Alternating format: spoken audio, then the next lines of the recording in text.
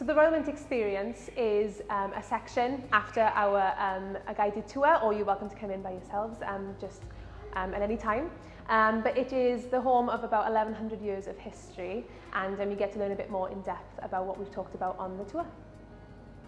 So yeah, there's a couple of highlights um, in the um, exhibition, but some of the ones I would point out, I guess, um, would be there is the Alfred the Great silver penny, and that is at the very beginning, and you would have um, heard about that on your tour. Um, but yeah, that was what we believe to be the first coin um, minted uh, in the UK, so that's a really cool thing to see.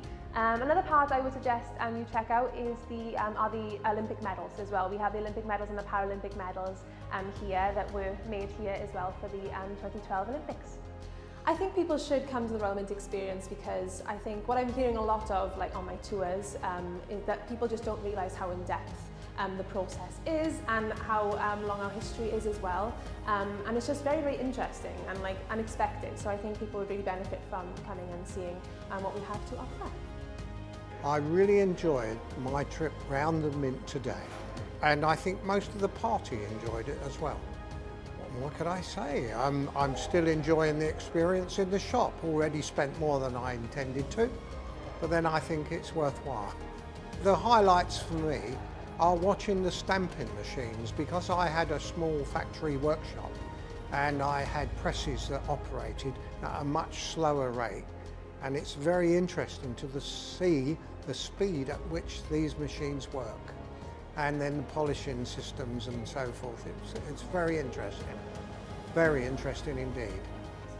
I think the Royal Mint experience has been rather good. We've come with the WI, we've um, been surprised at the speed of the machines and how much more there was in here to look at than I actually thought. I didn't really know what to expect, but it's been very, very good uh, knowing how the coin's made.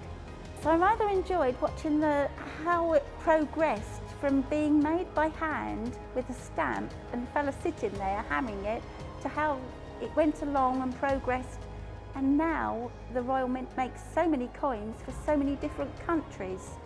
Never thought about that before either. I think I'll definitely see coins and money in a different light to how I did before. The Royal Mint experience is an amazing place you can learn so much from this area. It's a really interesting place and the people here are really nice and the coins are just so amazing and the history is just wonderful. My favourite parts about today were making my own coin and that was really amazing and going through the gift shop was just so wonderful. The things there was really interesting. The Mint experience was really informative and fun. What surprised me um, was that how many coins they could make in a minute and in several hours that they could make millions. My favorite experiences today were um, being able to make my own coin, what, uh, watching videos about how coins are made and being able to ask the uh, tour guide um, about interesting questions which I wanted to know the answer to. The tour, uh, tour guide was very informative in, um, uh, when we get uh, asked questions and um, she had a good sense of humour.